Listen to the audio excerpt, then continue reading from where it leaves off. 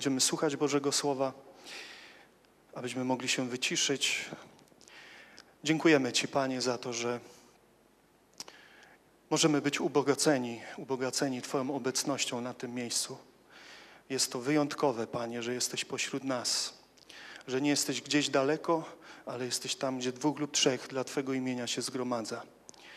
Wielki przywilej, Panie, to jest dla nas, że możemy również pochylać się nad Twoim słowem i z tego słowa czerpać siłę, czerpać mądrość. I modlę się, Duchu Święty, abyś dziś dał mi łaskę, abym mógł w sposób zrozumiały w Twoim namaszczeniu, w Twojej mocy to słowo, które Ty sam mi dałeś przekazać. E, ale też, aby to słowo znalazło swoich adresatów, swoich odbiorców, aby znalazło miejsce w naszych sercach, by tam to ziarno mogło wyrosnąć i wydać owoc, plon dla Twojej chwały. Dziękujemy Ci, Panie, za to, że ciągle jesteś z nami i będziesz z nami aż do skończenia świata. Amen. Drodzy, to słowo, z którym chcę się dzielić, ono towarzyszy mi od wielu, wielu tygodni.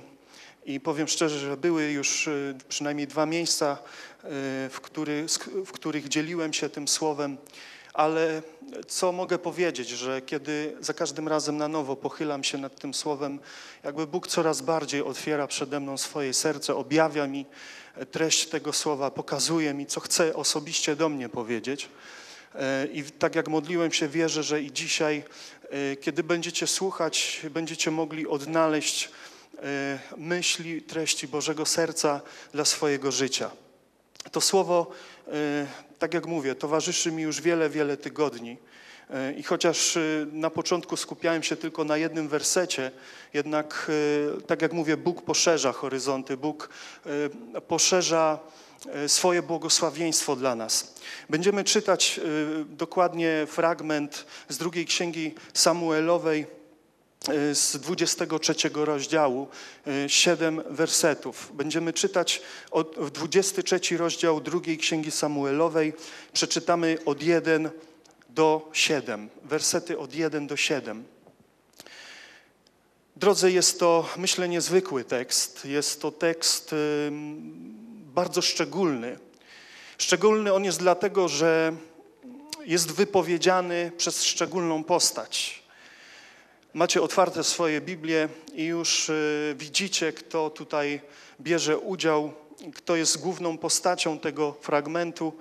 Y, znamy Dawida, znamy króla Dawida, znamy go już z, wczesnych, y, z wczesnego dzieciństwa, ci, którzy urodzili się w rodzinach chrześcijańskich, wierzących, którzy uczęszczali na szkółki niedzielne, niejednokrotnie na tych szkółkach słyszeli opowieść, historię, wspaniałą historię króla Dawida. E, jest to postać przytaczana bardzo często. I ten tekst, tych siedmiu wersetów, tak jak mówię, jest szczególny. Szczególny jest dlatego, że e, to, co już czytamy w pierwszym wersecie, że to są ostatnie słowa Dawida. Dawid przybliżył się już do krawędzi swojego życia, przybliżył się do tego miejsca, gdzie e, zamknie swoje oczy, gdzie umrze i przejdzie na drugi brzeg. Dawid jest już bardzo blisko tego miejsca i czytamy, że to są jego ostatnie słowa. Wiecie, kiedy y, w ubiegłym miesiącu umierał, y, umierał dziadek, umierał mój dziadek, y, wiele wspaniałych też myśli, historii, które gdzieś tam rodzina mówiła, kiedy brał ich do siebie, błogosławił, kiedy mówił, mówił jakieś słowa, dobre słowa, błogosławił ich. Wiecie, czas śmierci jest, myślę, niezwykłym czasem dla tych, którzy mają tą łaskę umierać właśnie w taki sposób, jak umierał Dawid, kiedy to nie jest śmierć nagła, nie jest to śmierć w jakimś wypadku, ale śmierć z powodu starości, z powodu tego, że już się jest w podeszłym wieku i Pan po prostu odwołuje nas od świata. W takiej sytua- ze świata. W takiej sytuacji był tutaj król Dawid. Przeczytajmy sobie tych siedem wersetów. To są ostatnie słowa Dawida. Wypowiedź Dawida, syna Isajego. Wypowiedź męża wysoko wyniesionego, pomazańca Jakubowego i miłego piewcy izraelskiego. Duch Pana przemawia przeze mnie, a słowo Jego jest na języku moim. Rzekł Bóg Izraela, przemówiła do mnie opoka Izraela, kto sprawiedliwie panuje nad ludźmi, Kto panuje w bojaźni Bożej jest jak brzask poranku, gdy słońce poranne wschodzi na bezchmurnym niebie, jak deszcz, który sprawia, że ruń wychodzi z ziemi. Czy nie tak jest z domem moim u Boga? Wszak przymierze wieczne zawarł ze mną, pod każdym względem ułożone i zabezpieczone. Czyżby nie miał rozwinąć wszystkiego, co dotyczy zbawienia mojego i co jest życzeniem moim? Lecz nikczemnicy, wszyscy oni są jak ciernie rozwiane, których nie bierze się do ręki. Nikt ich nie, tk nie tknie, chyba że uzbroi się w żelazo i w drzewce włóczni i ogniem zostają spalone tam, gdzie są. Tak brzmi ten fragment Bożego Słowa. Tak brzmiała wypowiedź Dawida, jego ostatnie słowa, które wypowiedział. Chciałbym na samym początku, abyśmy swoją uwagę zwrócili na werset pierwszy. Skupili się na wersecie pierwszym. Chcę jeszcze raz go przeczytać.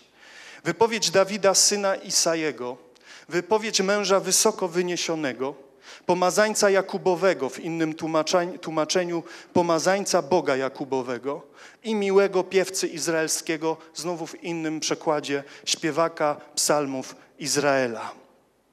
W tym, drodzy, krótkim wersecie, w tym krótkim fragmencie występuje charakterystyka postaci, jaką właśnie był król Dawid.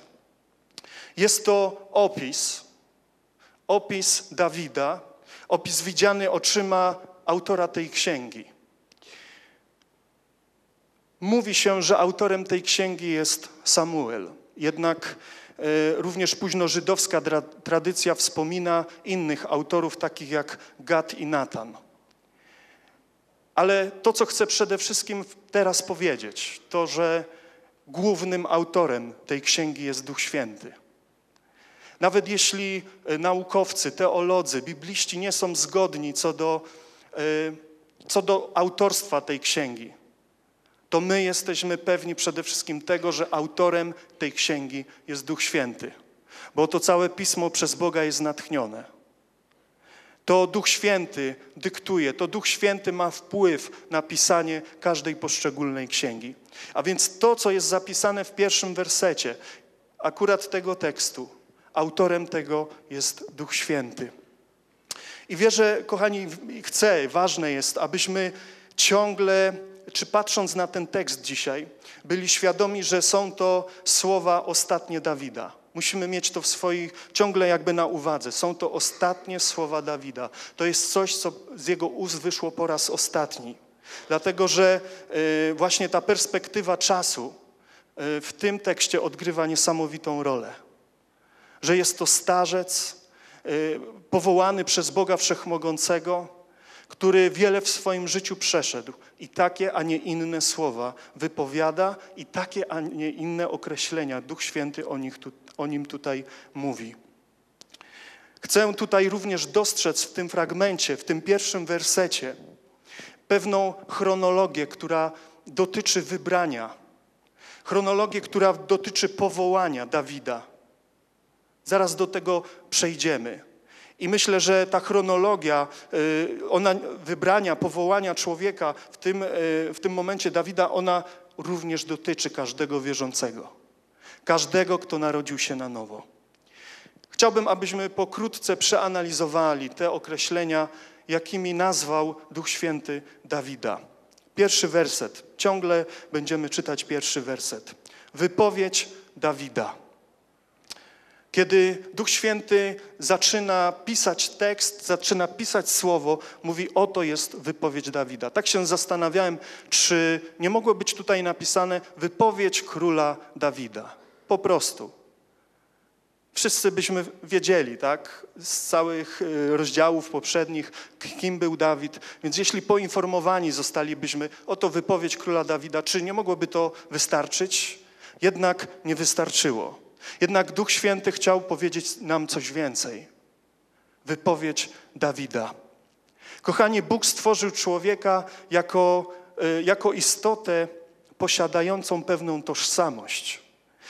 Y, stworzył człowieka jako istotę wyróżniającą się ze wszystkich innych istot, jako istotę zupełnie niepowtarzalną.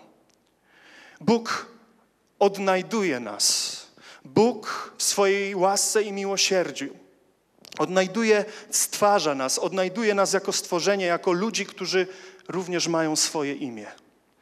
Bóg, kiedy patrzy na nas, nie patrzy na, o, ktoś tam sobie jest, ktoś tam sobie siedzi. Bóg, kiedy na nas patrzy, doskonale zna nasze imię. Zna nas po imieniu. On nas poznał, On nas wybrał i On nas powołał już przed stworzeniem świata. I o tym możemy choćby nawet czytać w liście do Galacjan. Proszę, abyśmy sobie e, mogli otworzyć list do Galacjan, pierwszy rozdział, piętnasty werset.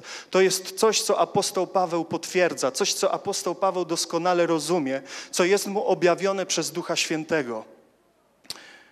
Piętnasty werset, apostoł Paweł powiada, ale gdy się upodobało Bogu, który mnie sobie obrał, zanim się urodziłem i powołał przez łaskę swoją.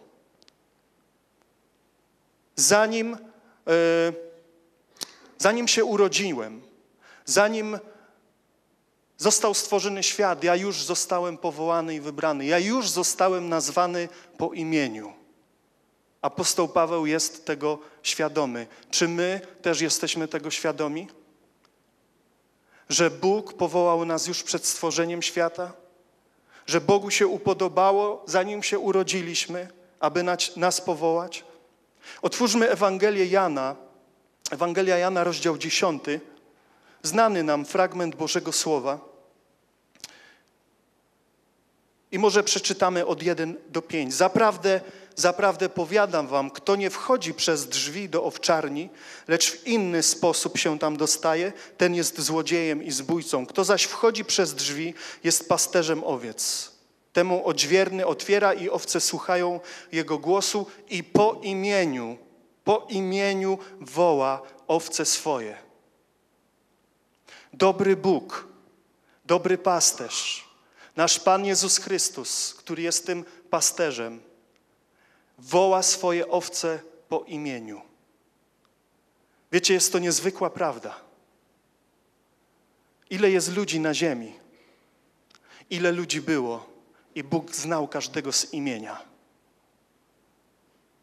I nawet nie tyle, że znał z imienia, ale Bóg podchodzi do nas w takiej relacji, w taki sposób, że szanuje nasze imię, że nawiązuje z nami relacje jako, jako z ludźmi, którzy mają swoją tożsamość, mają swoje imię. I tak tu jest powiedziane właśnie o, o Dawidzie. Wypowiedź Dawida. Wiecie, te dwa słowa wiele mi, naprawdę wiele mi mówią. Mówią mi o Bożej miłości, o Bożym zatroskaniu. Te dwa słowa mówią mi, jak bardzo Bóg interesuje się moim życiem. Że nie wrzuca nas wszystkich do jednego worka ale patrzy na każdego z nas w sposób odrębny, w sposób specjalny. Patrzy na każdego z nas i widzi nasze życie w sposób doskonały, bo Bóg jest doskonały. Również to, co napisał psalmista, właśnie psalmista Dawid, w psalmie 139, tak bardzo nam znany tekst. Panie, zbadałeś mnie i znasz. Ty wiesz, kiedy siedzę i kiedy wstaję, rozumiesz moją myśl z daleka. Ty wyznaczasz mi drogę, wyznaczasz mi spoczynek, Wiesz dobrze o wszystkich ścieżkach moich, moich. Jeszcze bowiem nie ma słowa na języku moim, a Ty, Panie, już znasz je całe. Ogarniasz mnie z tyłu i z przodu i kładziesz na mnie rękę swoją. Zbyt cudowna jest dla mnie ta wiedza, zbyt wzniosła, bym ją pojął. Trzynasty werset. Bo Ty stworzyłeś nerki moje, ukształtowałeś mnie w łonie matki mojej. Wysławiam Cię za to, że cudownie mnie stworzyłeś. Jesteśmy poznani przez Boga. Jesteśmy poznani przez Boga, wiecie, na wylot. Bóg o nas doskonale wszystko wie. Bóg zna nasz dzień narodzenia, sekundę narodzenia. Bóg zna całą naszą przeszłość i zna naszą przyszłość. Bóg zna nas po imieniu. Bóg znał Dawida po prostu jako Dawida. Bóg y, znał jego serce Bóg znał jego charakter. Bóg znał jego najskrytsze myśli, obawy, lęki. Znał jego radości i znał jego zwycięstwa. Ja myślę, że jest taka prawda, która wy, wy, jakby wypływa z tego tekstu, że nie można zbudować relacji na dystans. Nie można zbudować relacji na bezimiennym traktowaniu siebie nawzajem. I Bóg w ten sposób nas nie traktuje. Bóg, kiedy mówi tutaj o Dawidzie, mówi: To jest wypowiedź Dawida. Ja go szanuję. On jest Dawidem. Ja go znam. On ma swoje imię. To nie jest ktoś, kto nie wiadomo skąd pochodzi. Siostro, bracie, Bóg zna Twoje imię. On doskonale wszystko o Tobie wie. Ale chciejmy podążać dalej. Wypowiedź Dawida i następne określenie syna Isajego. Syna Isajego. Co Bóg do mnie mówi, kiedy czytam te, to kolejne określenie? Bóg nie tylko zna nasze imiona, On zna nas na wylot i również zna warunki naszego pochodzenia, naszego urodzenia. Tak, On o tym wszystkim wie. Małe tego, to On zaplanował dla naszego życia czas i miejsce. To nie kwestia przypadku ani żadnych błędów, że urodziliśmy się w takim, a nie innym okresie i w takim, a nie innym miejscu. To jest wszystko przez Pana zaplanowane i musimy to rozumieć. Wiemy, siostry i bracia, z historii Dawida, że urodził się jako najmłodszy ze swojego rodzeństwa. Miał siedmiu braci. Był po prostu najmłodszy. I różnie to z tymi najmłodszymi jest. Ja nie wiem, bo akurat jestem najstarszy. I być może tej codzienności, jaką Dawid wychowywał się w swoim. Mateusz jest najmłodszy, on by mógł coś tutaj powiedzieć. Kiwa tam coś mówi do żony. Y, Dawid, Dawid, będąc najmłodszym, być może z wielkim podziwem patrzył na swoich starszych braci, patrzył na swojego brata Eliaba. W końcu to on był pierworodny i to przecież było coś. Być pierworodnym to było coś. Szczególnie dla kultury żydowskiej, dla, dla, dla Żydów, wszystko co pierworodne było poświęcone Panu. To miało ogromne znaczenie. Rodziło się dziecko, jeszcze w dodatku, gdy był to syn, pierworodny, mój pierworodny. No a Dawid, ósmy z kolei, gdzieś tam na samym końcu. Nie zajmował się Dawid tak może ważnymi rzeczami, jak jego właśnie starszy brat albo starsi bracia. I może tylko wpatrując się w okno, odprowadzał ich wzrokiem, kiedy szli do ważnych spraw, kiedy szli na wojnę z Filistynami, mieli zawód żołnierza, walczyli w, u boku Saula, króla Saula. I Dawid mówił: Wow, niesamowite jakbym chciał, jakbym chciał. I patrząc może w to okno, rozmarzył się, jak to idzie razem ze swoimi starszymi braćmi, żeby walczyć. I nagle wchodzi ojciec do domu i mówi: Dawid, pastwisko na ciebie czeka. Wracaj do owiec. Siostry i bracia, być może gdybyśmy nie znali historii Dawida, bo ja zdaję sobie sprawę, jestem świadomy, że mówię do tych, którzy doskonale tą historię znają. Ale gdybyśmy może jej nie znali i zacząłbym o tym mówić, może bardziej zainteresowani bylibyśmy losami właśnie tych żołnierzy walczących e, u boku króla Saula. Jest pewien fragment, który sygnalizuje mi, jak to mogło być w tym domu. Jak to mogło być w tym rodzinnym domu Dawida? Jest on zapisany w pierwszej księdze Samuelowej, w 17 rozdziale, 28 wersecie. 17 rozdział, 28 werset. To jest już moment, kiedy toczy się walka, walka z Filistynami, a Dawid został wysłany przez swojego ojca e, tam na front, aby zanieść e, coś do zjedzenia, ale też żeby sprawdzić, jak się mają rzeczy. I kiedy usłyszał i dowiedział się, jak wygląda sytuacja, usłyszał groźnego Goliata, który gdzieś tam e, pyskuje Bogu Najwyższemu, zaczął się dowiadywać między żołnierzami, kto to jest ten Goliat, jak się rzeczy mają.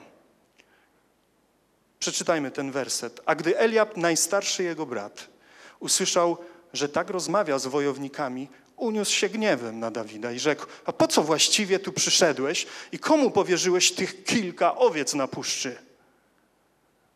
Dawid, co ty tu się w ogóle między nogami gdzieś plątasz? Kilka owiec na puszczy. Jak to wszystko brzmi? Mam wrażenie, że był traktowany, wiecie, tak niekiedy młodzieżówka mówi z buta. Dawid, po coś ty tu przyszedł? Po co właściwie tu przyszedłeś? Komu powierzyłeś tych kilka owiec na puszczy? Znam ja Twoją zuchwałość i złość Twojego serca. Przyszedłeś tutaj tylko, aby się przyglądać bitwie. Czy Eliab się ucieszył z przyjścia Dawida? Ja, ja śmiem twierdzić, że coś tu jest nie tak z tymi relacjami chyba. W jaki sposób został Dawid potraktowany? To jest tylko pewien sygnał, który, który może nam powiedzieć o sytuacji w rodzinie. I myślę, że każdy z nas, który miał rodzeństwo, czy ma rodzeństwo, e, on wie, jak to było. Nieraz się bratu dało w nos. Nieraz się siostrę za włosy pokudliło. Ale z tego możemy akurat się śmiać, ale są sytuacje o wiele gorsze. I chociaż niewiele wiemy, jak wyglądała codzienność w domu Dawida, możemy tylko przypuszczać, choćby na podstawie tego wersetu, że Dawid nie był do końca poważnie traktowany przez swoich braci. On był od owiec. Dawid, trzeba posprzątać, gnój wyrzucić. Ty tam się tymi rzeczami zajmuj. My tu mamy ważne sprawy do załatwiania.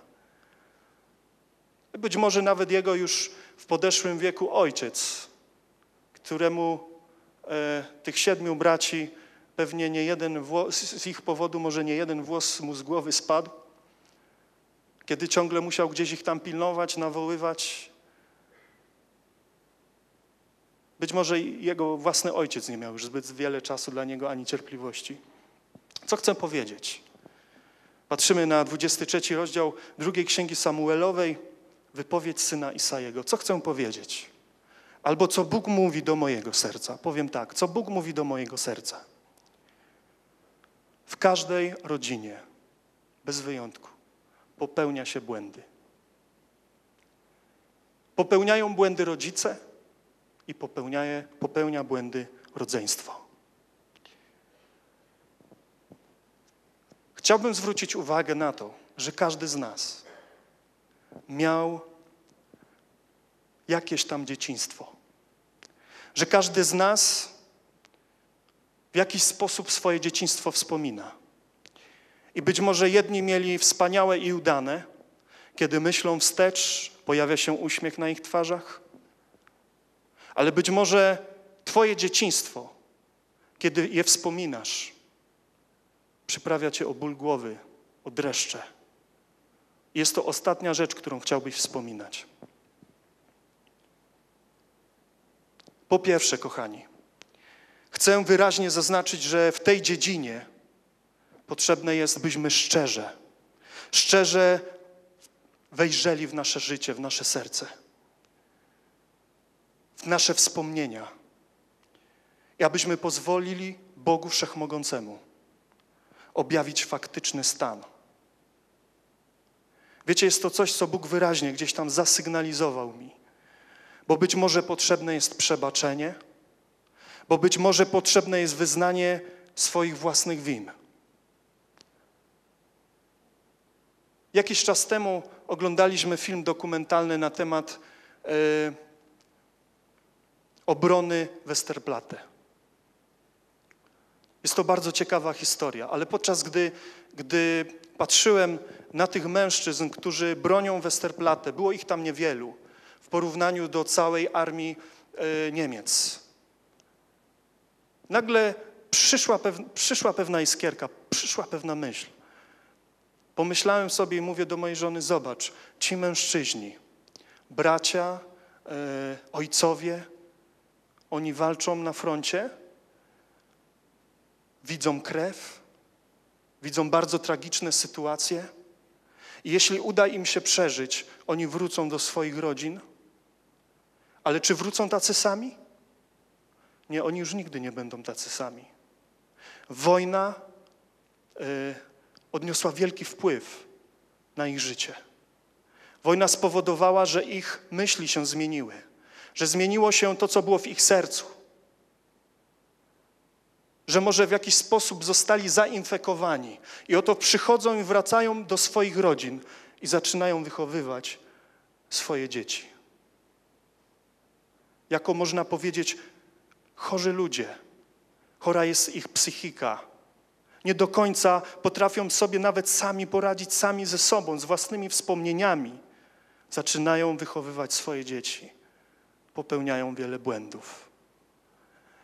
Te dzieci dorastają, dorastają właśnie na bazie tych popełnianych błędów, braku miłości, być może wielkiej surowości i zaczynają znowu własne dzieci wychowywać.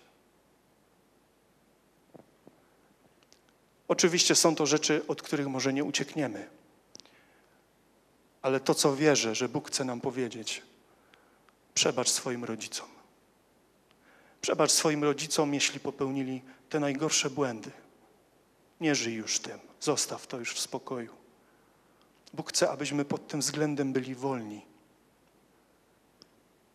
A być może jesteś rodzicem, który dzisiaj gdzieś odnajduje, tak, popełniłem taki czy inny błąd. Wiecie, ileż to jest historii, kiedy to ojcowie nie odzywają się do własnych synów. Tak, to jest nasza codzienność, to jest codzienność. Ale my potrzebujemy coś z tym zrobić.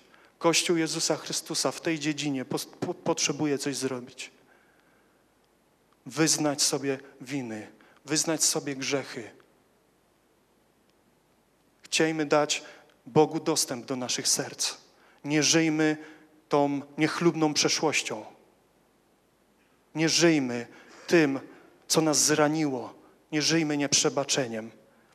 Ja myślę, że nie muszę na tym miejscu nikomu tłumaczyć, czym dla chrześcijanina jest przebaczenie.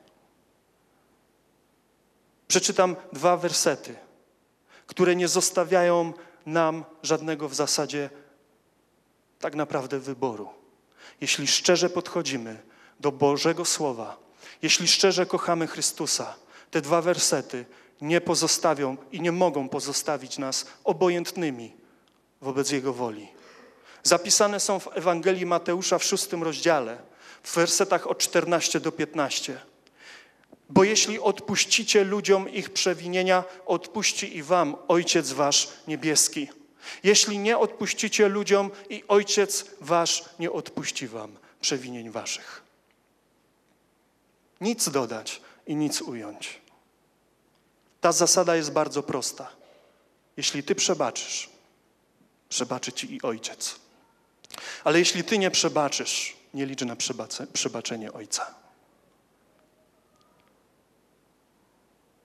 Chcę dziś szczególną uwagę naszą zwrócić na nasze relacje rodzice, dzieci dzieci, rodzice. Wiecie, to mogą być bardzo odległe sprawy.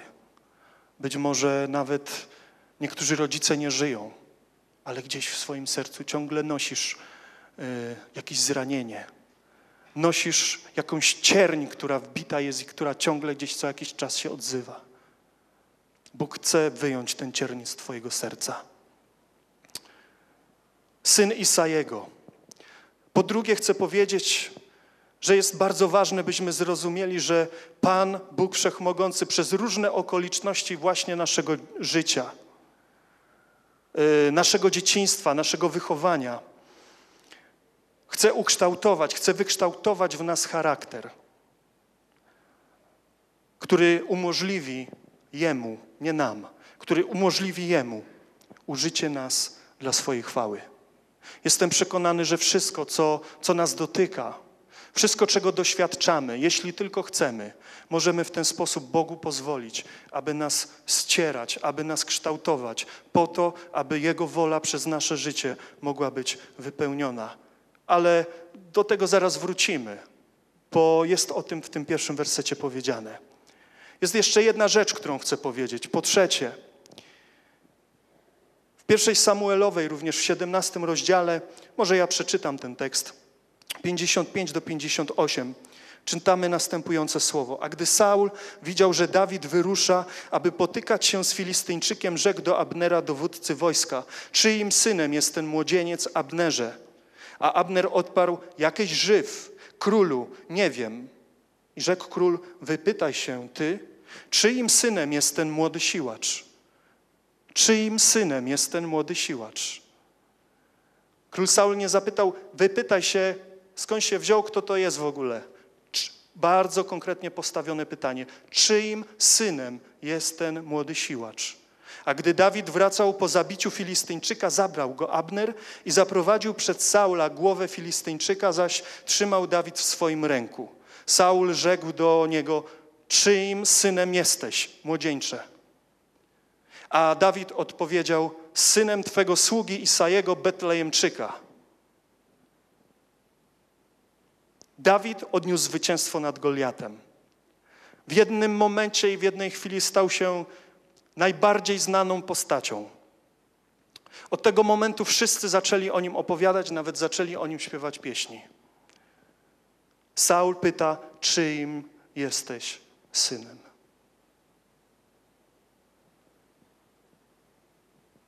Czyim jesteś synem? Myślę, że było to o tyle ważne, że niosło, ta wiadomość niosła ze sobą pewną bardzo ważną informację. Siostro, bracie, czyim jesteś synem? Nasza codzienność wywiera na nas wpływ. Musimy stoczyć niejedną walkę. Czy kiedy walczę, czy kiedy zwyciężam, walczę ze swoją chorobą, walczę z takim czy innym problemem. Idę tam walczyć jako ja, Arek? Czy idę walczyć jako syn Boga Najwyższego? Czyim jesteś synem? Czy mamy tą świadomość, że jesteśmy synami i córkami Boga Najwyższego? Siostry, bracia, dla naszego Boga ma to znaczenie, bo jest to przecież zapisane o Dawidzie. On powiedział o nim, to jest Dawid, ale to jest też syn Isajego. Bóg zna Twoich rodziców, znał Twoich rodziców, znał Twoje dzieciństwo, znał wszystkie błędy, które w Twoim kierunku zostały skierowane bezpodstawnie może. Dla Boga to jest ważne. On nie jest kimś, kto zakrywa swoje oblicze i mówi: Mnie to nie interesuje w ogóle. Dla mnie to jest bardzo ważne.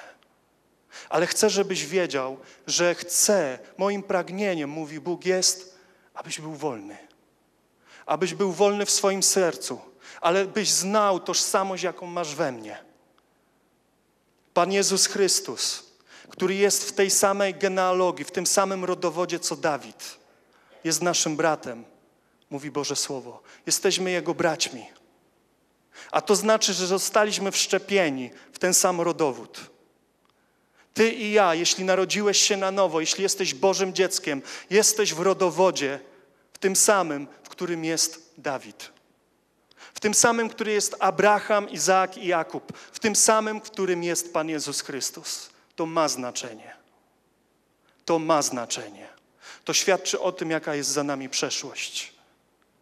Jakimi ojce, kto był naszym ojcem w dalekiej przeszłości. To ma znaczenie. Czyim jesteśmy, czyimi jesteśmy dziećmi. Przejdźmy do dalszego określenia. Wypowiedź męża wysoko wyniesionego. Bardzo mi się podoba to sformułowanie. Wypowiedź męża wysoko wyniesionego. Wiecie, ja ciągle jestem zdumiony tym jednym wersetem.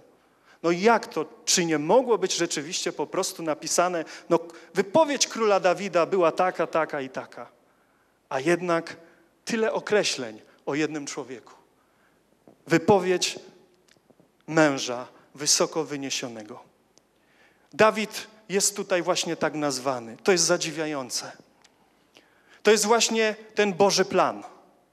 Kiedy mówiłem na samym początku, że patrząc na ten pierwszy werset, dostrzegam pewną chronologię wybrania, chronologię powołania Dawida, ale powołania również każdego z nas. Co mam na myśli? To znaczy, że my musimy przejść pewien proces. że, że to powołanie nasze, to, to wybranie, ono wymaga pewnego procesu. Dla każdego z nas innego, bo jesteśmy innymi ludźmi.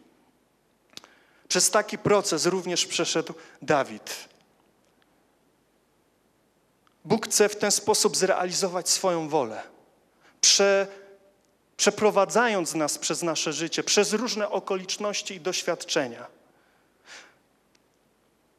Od samego urodzenia, w takich, a może innych okolicznościach, przez lepsze, czy, przez lepsze, czy może przez gorsze warunki dzieciństwa, przez trudne doświadczenia, Bóg ciągle przez cały czas okazuje nam łaskę i dopełnia swojej wierności. Bo my jesteśmy powołani i Marek na wstępie też wielokrotnie to tutaj sygnalizował, że jesteśmy powołani, mamy pewne powołanie, mamy pewne zadanie do wykonania. Nie możemy sobie myśleć, siostry i bracia, oto jestem chrześcijaninem, siedzę w wygodnej ławce w zborze w ustroniu i to jest wszystko, co mogę zrobić. Nie możemy tak myśleć. To jest kłamstwo i takiego kłamstwa należy się wyzbyć. Jeśli Bóg mnie powołał, powołał mnie przed stworzeniem świata, poznał mnie po imieniu, mówi do mnie po imieniu, zna całe moją, całą moją przyszłość, On ma plan. On ma plan i On ma cel, On ma zadanie, które musimy spełnić, które On chce, abyśmy wypełnili. A wszystko inne, co towarzyszy naszemu życiu, może tylko sprzyjać, jeśli to zrozumiemy, jeśli nawet najgorsze są to warunki. Może to tylko sprzyjać temu, aby w nas wykształtować taki charakter, wykształtować w nas taką pokorę, aby dać się Bogu do Jego dyspozycji. Mąż wysoko wyniesiony. Kochani, zadam Wam pytanie. Czy życie Dawida było pełne sukcesów, zewsząd ogarniającego błogosławieństwa i pomyślności? Czy kiedy czytasz historię Dawida, mówisz: O, sukces. Następny werset sukces. Następna historia sukces. Wiecie, ostatnio słyszałem wypowiedź brata Jana Guńki, seniora, yy, człowieka, który również słowem naucza Bożego Słowa i powiedział, że on przeczytał Biblię niejednokrotnie i powiedział ani razu. W Biblii nie znalazłem, chyba że nie potrafi czytać, tak powiedział, nie znalazłem słowa sukces. Niektórzy chcą nam wmówić, Bóg równa się sukces. Bóg równa się wszystko pójdzie gładko. Bóg równa się zapomnij o cierpieniu. Ja osobiście, nie wiem jak wy, z taką teologią się nie zgadzam. Bo kiedy patrzę na Dawida, na męża wysoko wyniesionego, a tak powiedział o nim Bóg, dostrzegam ból, cierpienie. Kochani, ileż on napisał psalmów pełnych żalu. Ileż napisał psalmów pełnych trwogi, kiedy ucieka przed swoimi wrogami. Rozczarowany własnym królem, uciekający przed ukochanym synem, dotykany przez śmierć przyjaciół. Jego wierny przyjaciel Jonatan zginął. Czy Dawid, kiedy dowiedział się o śmierci swojego przyjaciela, powiedział: O, umarł, no, to jest sukces. To dotknęło jego serca. To go przeniknęło. On płakał. Nawet jego dziecko zmarło. Również ukłuty żądłem śmierci, grzechu. Wiecie, to wyniesienie wiele go kosztowało. I możemy ten, ten akurat to określenie przelecieć przez nie i powiedzieć, o, wysoko wyniesiony mąż. No tak, był pastuszkiem, jest królem. Ale nie o to chodzi. Chciałbym, abyśmy rzeczywiście się przyjrzeli. To był proces. To wyniesienie trwało wiele lat. Doświadczenia, cierpienia hartowały serce przyszłego króla. Myślę, że nie jeden z nas nie chciałby się znaleźć w tych sytuacjach. Wiecie, od wielkiego triumfu po zwycięstwie nad Goliatem musiał uciekać. bo oto Saul próbował go zabić. Ileż miał wrogów.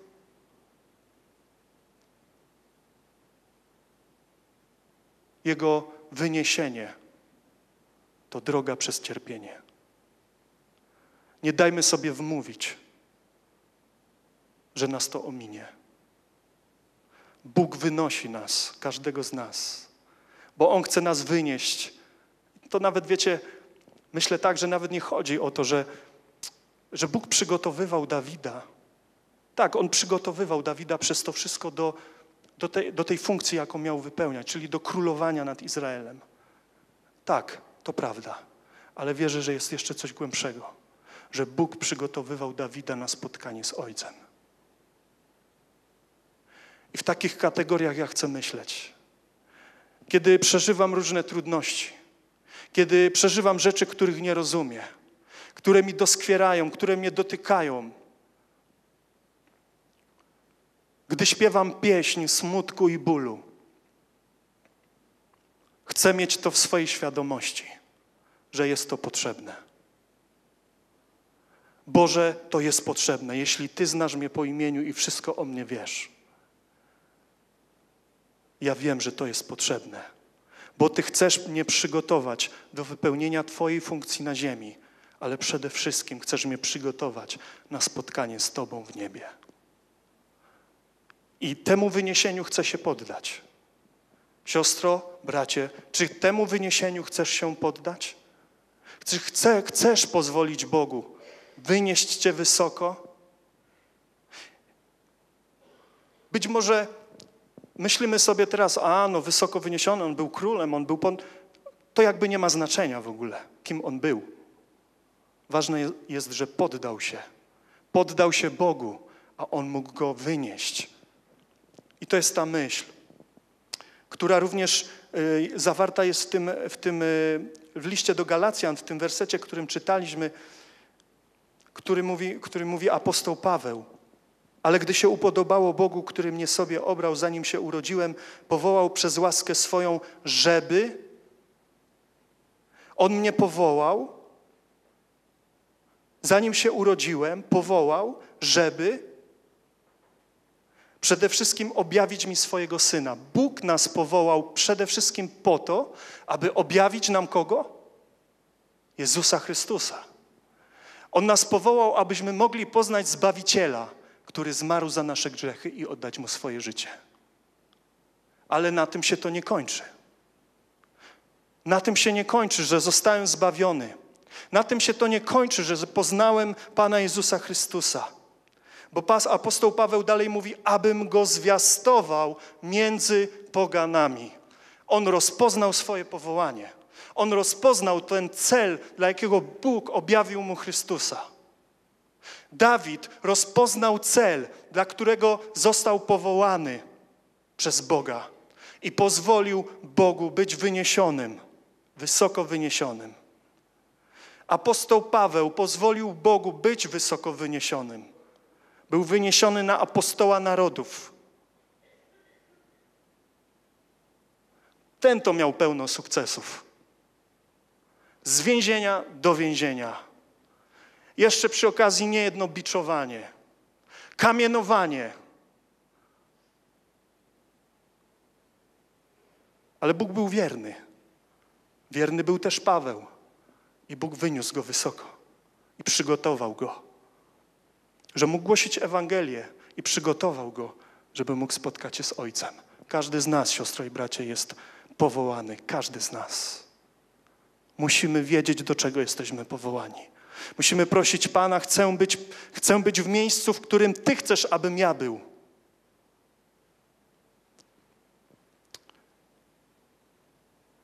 Słyszałem taki przykład, że dzisiaj Kościół, mówił to jeden z kaznodziejów, jeden kościół, że dzisiaj Kościół podobny jest do statku pasażerskiego.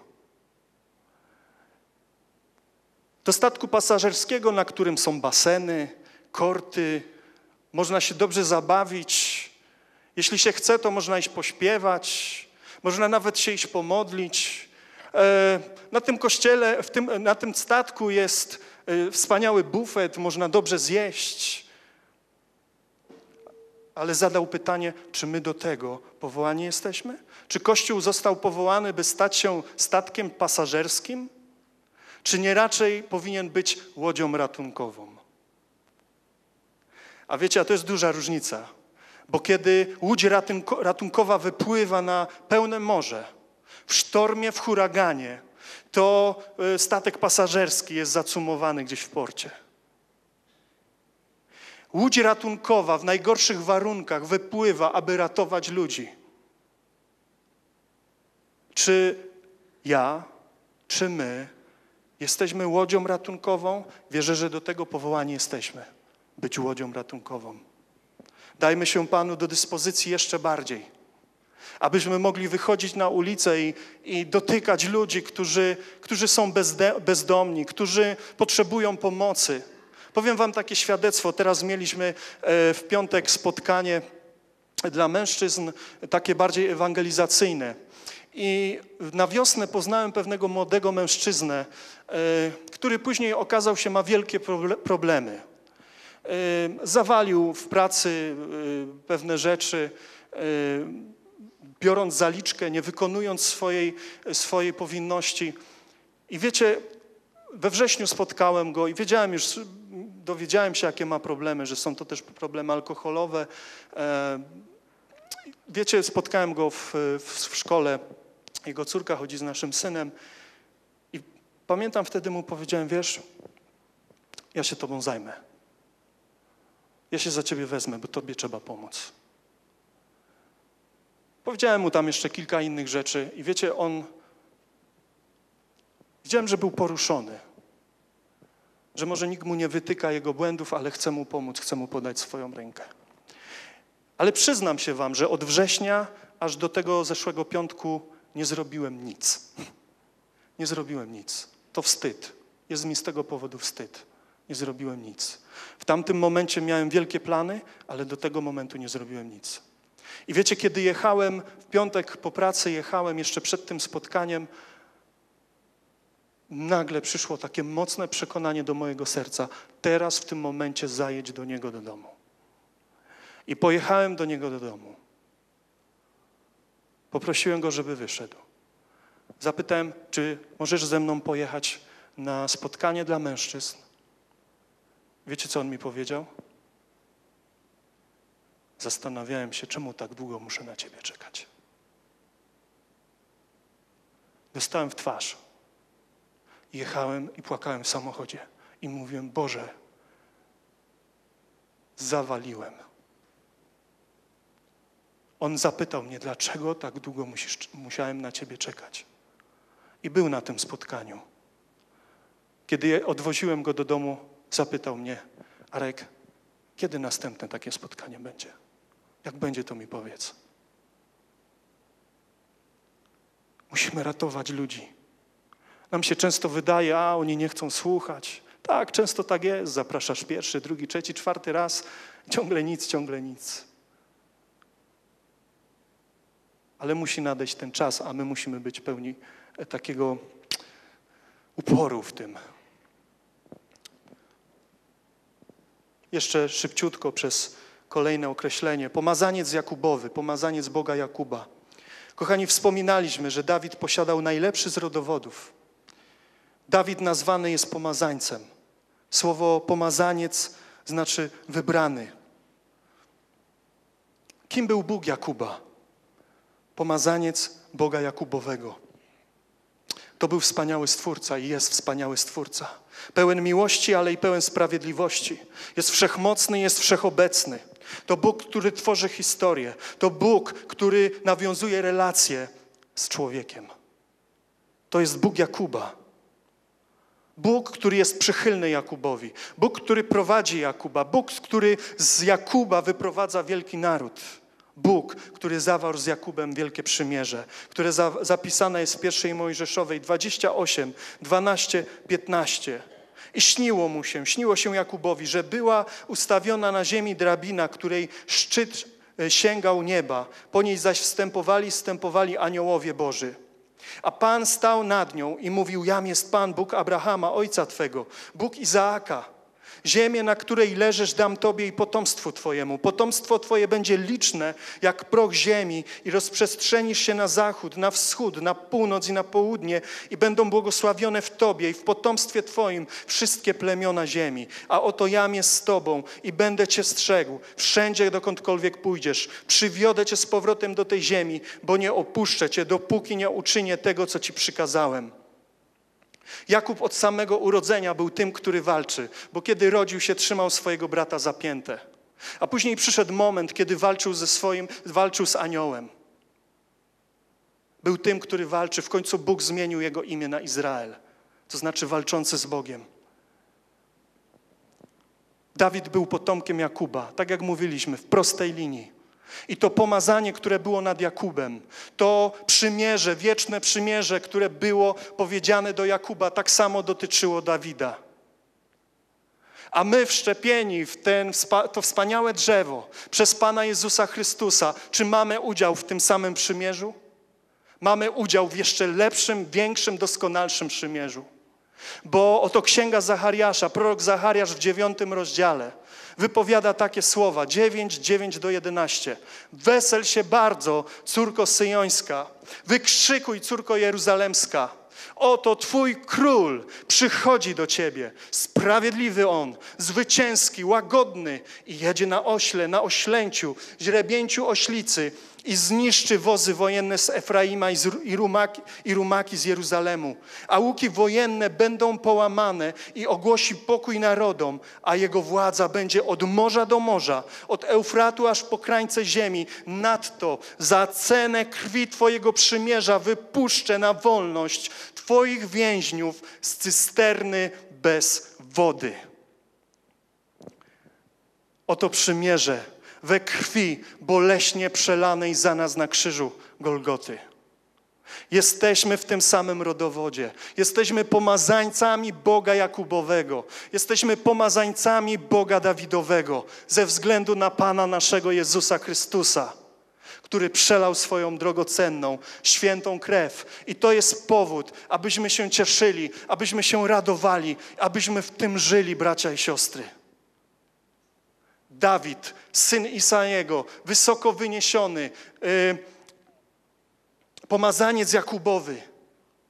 Ileż można było powiedzieć o tym jednym człowieku, ileż można powiedzieć o Tobie i o mnie.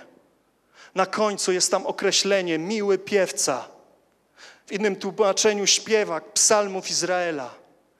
Można powiedzieć, drodzy, drodzy, że całe życie Dawida było przeplecione chwałą, którą oddawał swojemu Bogu. Gdy pasł swoje owce, śpiewał dla swojego Boga. Gdy szedł na walkę z Goliatem, w jego sercu rozbrzmiewała chwała, bo idę tam w imieniu mojego Boga, bo On jest moim Bogiem. A kiedy musiał uciekać, chował się gdzieś w jaskini, chociaż te pieśni miały może były, na, były w tonacji molowej, a nie durowej. Ale rozbrzmiewała się ta sama chwała. Kochani, tej drugiej księdze Samuelowej, tuż, tuż przed ostatnimi słowami, jakie Dawid wypowiedział, czytamy o dziękczynnej pieśni Dawida. Prawie że nad swoim grobem Dawid śpiewa dziękczynną pieśń. Tak, już z perspektywy czasu, wspominając to wszystko, co wydarzyło się w jego życiu i wysławiając potężną jego wierność. Boże, przez wszystkie te chwile cierpienia, przez wszystkie te chwile doświadczenia Ty byłeś ze mną, Ty mnie wspierałeś, a dzisiaj śpiewam Tobie dziękczynną pieśń. Życie Dawida, Dawida jego chwała przeplatała każdy, każdy dzień. I myślę, że jeśli w ogóle z czymś można Dawida skojarzyć, to najbardziej z psalmami. Prawda? Kojarzymy go bardzo często z psalmami, z pięknymi psalmami, których i dzisiaj my używamy, którymi się budujemy, które stają się inspiracją dla nowych pieśni, dla nowych utworów. I na koniec, kochani, ta wypowiedź, bo to jest też bardzo ważne, ta wypowiedź tych raz, dwa, trzy, cztery, pięć, sześć wersetów, wypowiedź Dawida. Na koniec. To jest niezwykłe. Ja podzieliłem sobie ją na pięć części. Pierwsza część zawarta w drugim wersecie i w pierwszej we części wersetu trzeciego. Duch Pana przemawia przeze mnie, a słowo Jego jest na języku moim. Rzekł Bóg Izraela, przemówiła do mnie opoka Izraela. Kochani, Dawid to nie był zgorzkniały starzec. To nie był sfrustrowany starzec z powodu tego, co się mu nie udało zrobić. Ja kiedy czytam te właśnie werset, to co przed chwilą przeczytaliśmy, widzę, że Dawid do samego końca udostępnia swoje usta, swoje życie Bożemu Duchowi. Duch Pana przemawia przeze mnie, mówi Dawid. Oto Duch Pana jest w moim sercu i On przeze mnie przemawia. Jestem ciągle do Jego dyspozycji. Jestem ciągle kanałem, przez który On może działać. Jestem y, wyszlifowany, jestem wyniesiony, jestem przygotowany, aby Jego Duch mógł przez cały czas działać, nawet w tym ostatnim momencie. Wiecie, to są ostatnie słowa, to są ważne słowa. To są bardzo ważne słowa. Być może zebrałby swoją rodzinę i chciałby im jeszcze tak dużo powiedzieć. Może chciałby im powiedzieć: Dzieci, córki, moi wnukowie, ja umieram, ale to, co chcę Wam powiedzieć, nie, On otwiera swoje usta i daje możliwość działania Duchowi Świętemu. Daje możliwość, Boże Duchu, to Ty mów. I Duch zaczyna mówić. Bóg Izraela zaczyna mówić. I ta druga część nazwałem ją pochwała, 3b e, do 4. Kto sprawiedliwie panuje nad ludźmi, kto panuje w bojaźni Bożej jest jak brzask poranku, gdy słońce poranne wschodzi na bezchmurnym niebie, jak deszcz, który sprawia, że ruń wychodzi z ziemi. Kiedy to czytam, słyszę, jak Bóg Izraela mówi do Dawida przez swojego ducha: Dawidzie, jestem z ciebie dumny. Sprawiedliwie rządziłeś nad moim, rządziłeś moim ludem. W bojaźni Bożej panowałeś nad moim ludem. Jesteś tym najlepszym, co pozwoliłeś, abym mógł z Ciebie uczynić. Jesteś tym najlepszym, co pozwoliłeś, abym mógł wykrzesać z Twojego życia. Jestem z Ciebie dumny. Następna rzecz, następna myśl, piąty werset, nazwałem ją odpocznienie. Dawid powiada tak. Pamiętajmy, ostatnie jego słowa, być może za chwilę ostatnie jego tchnienie. Dawid powiada, czy nie tak jest z domem moim u Boga? Wszak przymierze wieczne zawarł ze mną. Pod każdym względem ułożone i zabezpieczone, w innym tłumaczeniu obwarowane. Czyżby nie miał rozwinąć wszystkiego, co dotyczy zbawienia mojego i co jest moim życzeniem? Dawid odpoczywa. Mówi: Ja wiem, ja umieram, ale wiem, kto się zajmie moim, Bogiem, moim domem. Ty, Panie. Mnie za chwilę już nie będzie. Ty zawarłeś ze mną wieczne przymierze. Ja nie muszę się martwić, bo ono jest pod każdym względem ułożone. To Ty je ułożyłeś. Ojcze, to Ty je ułożyłeś. Ja mogłem to przy, tego przymierza doświadczać każdego dnia, ale wiem, umieram, a ono będzie trwać nadal, bo Ty nie łamiesz swojego słowa. Ja wiem, to przymierze, ono jest obwarowane, ono jest zabezpiecz, zabezpieczone. Nie pozwolę, aby ktokolwiek, wiem, że Ty nie pozwolisz, aby ktokolwiek złamał to przymierze. On umiera spokojny. On umiera w odpocznieniu. I ta ostatnia myśl, co dotyczy zbawienia mojego i co jest życzeniem moim, czyżby nie miał rozwinąć wszystkiego? Kochani, on w tym ostatnim momencie miał jeszcze życzenia, miał jeszcze marzenia, miał jeszcze pragnienia. On nie myślał, no kończy się moje życie, okej, okay, inni niech se radzą. Ja wierzę, że on miał pragnienia, pełne, pełne jego serce było pragnień dotyczących jego rodziny, jego narodu, narodu izraelskiego. Być może marzył i spragnął w swoim sercu: Ja umieram, ale Ty, Panie, dalej prowadź ten naród. Prowadź, prowadź, prowadź, abyśmy wszyscy kiedyś razem się mogli spotkać. Takie przymierze, taki jest nasz Bóg. I z każdym z nas weźmy to osobiście do siebie. To nie jest powiedziane tylko do Dawida, to jest powiedziane do nas. Bóg zawarł z nami wieczne przymierze. Ono jest pod każdym względem ułożone. Nie musisz się martwić o swoją przyszłość. Nie musisz się martwić, że ktoś to przymierze przyjdzie i zburzy, że ktoś cię z tego przymierza okradnie, bo Bóg Wszechmogący, Bóg Wszechmogący nad tym przymierzem czuwa. On je obwarował w taki sposób, że nikt nie może tego przymierza dotknąć. Nikt. I chcę, bracie i siostro, abyśmy byli ludźmi, którzy mają pragnienie, którzy mają marzenie. Dawid mówi: y, Ty rozwiniesz wszystko, co jest w moim sercu, co dotyczy mojego zbawienia. Ty rozwiniesz wszystko, co dotyczy, y, co jest moim pragnieniem, co jest moim życzeniem. Co jest życzeniem Twoim dla Boga? Jakie masz życzenie? Co chcesz czynić dla Boga? Życz sobie tego. Pragnij tego, masz o tym, bo On jest w stanie to rozwinąć. On uczyni, że wyniesie cię wysoko. I to nie znaczy w tym naszym pojęciu wysoko. To, co On chce uczynić, to uczyni. Siostro, bracie, dajmy się Panu do dyspozycji. Ciągle mamy czas. Ciągle mamy czas, aby wypełnić Jego posłanie dla naszego życia. A na koniec w dwóch ostatnich wersetach Dawid mówi lecz nikczemnicy. I nazwałem to ostatnia rada, przestroga. Nikczemność to haniebne postępowanie zasługujące na potępienie i pogarnę, a w innych tłumaczeniach tutaj jest ludzie źli, przestępcy. Wszyscy oni są jak ciernie rozwiane, których nie bierze się do ręki. Nikt ich nie tknie, chyba że uzbroi się w żelazo, w drzewce włóczni i ogniem zostają spalone tam, gdzie są. A ci, którzy nie będą pełnić mojej woli. Mateusz siódmy rozdział. Jeszcze ten jeden fragment.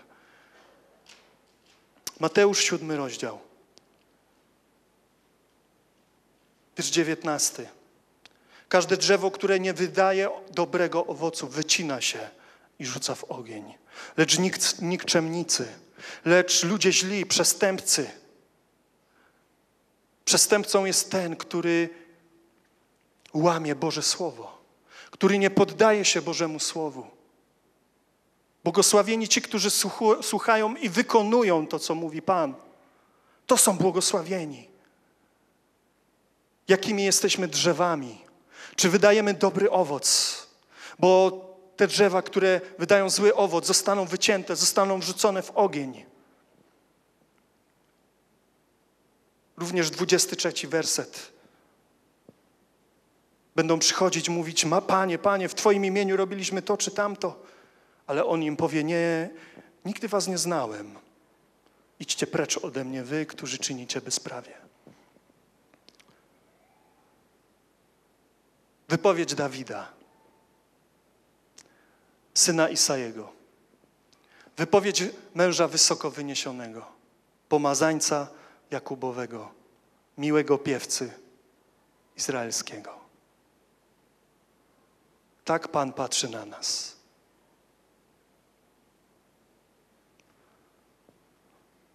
To, co chcę Wam dziś powiedzieć, to jest właśnie to. Pozwólmy Bogu działać w naszym życiu kształtować nas tak, jak On sam chce. On nas poprowadzi. On zabezpieczył wszystko. Cieszę się, siostry i bracia, że mogłem tym Wam dziś usłużyć. Czuję się lżejszy. Niech to słowo rzeczywiście znajdzie swoich odbiorców. Moją modlitwą jest, aby każdy z nas w taki sposób poddał się Panu, aby naszymi ostatnimi słowami, kiedy może nam przyjdzie umierać, były takie słowa, jakim były słowa Dawida. Duch Pański przemawia przeze mnie. Niech Was Bóg obficie błogosławi. Niech Was Bóg używa. Miejcie otwarte usta, szeroko otwarte oczy. I nie zawalajcie tak, jak ja zawaliłem. Bądźmy na tyle wrażliwi, aby tych, którzy potrzebują Chrystusa, do Niego przyprowadzać. Amen.